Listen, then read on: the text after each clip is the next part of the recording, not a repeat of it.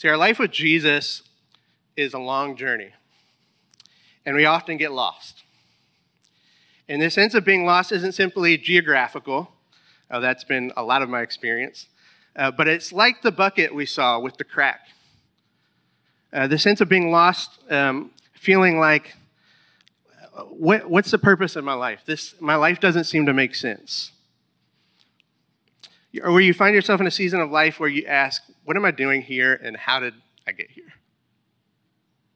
So we have these scriptures, these Psalms, as a gift from the Lord to guide us back, to redirect us, to get us back on the road with Jesus.